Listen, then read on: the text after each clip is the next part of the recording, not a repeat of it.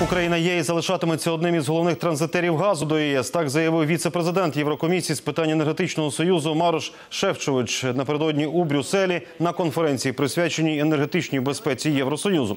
Він зазначив, 2013 року половина російського газу, імпортованого в ЄС, пройшла через Україну і додав, нехай і меншою мірою, та Україна також відіграє важливу посередницьку роль у закупівлі нафти європейськими країнами.